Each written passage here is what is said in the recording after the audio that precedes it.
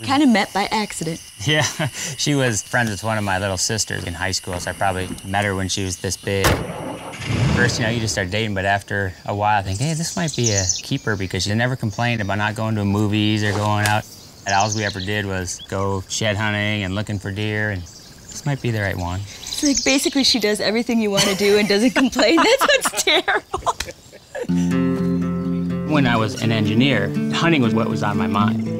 I quit on October 1st, which is opening day of deer season. Just moved to Iowa. I don't care what I'll do. Like I said, you're either gonna sink or swim. When he called me up and he's like, hey, I just quit my job. Do you want to move to Iowa? I was like, sure, let's go. And literally that week, we packed up and moved down to Iowa and never even batted an eye. I've always been a whitetail nut. I mean, antlers, shed hunting, all that stuff.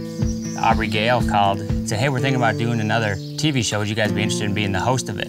This is two weeks after I quit. Well, the timing is right. As you can see, it's 12 years later and we're still here, so we did something right. People who don't hunt don't understand that I don't blow the dust off my bow October 1st and go out hunting. This stuff you do in the off season is the hunting to me. It's like you spend a thousand hours all summer planting food plots, scouting, cameras, feeders. By the time October 1st gets here, let's see what we learn and put it to use. It's like nobody goes out on a golf course to learn how to golf. You spend hours on a putting green and a driving range, then you go to the golf course to see what you've learned. You shoot at 100, 130 yards all the time.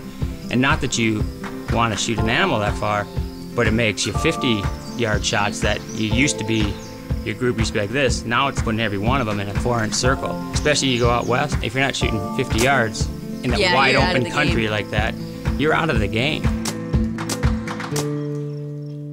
It doesn't matter really what you want to do. If you want to be successful at something, you have to work hard.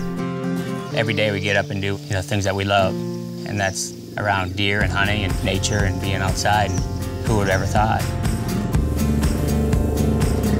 Life's too short. You got to live for today because you never know if you'll have tomorrow.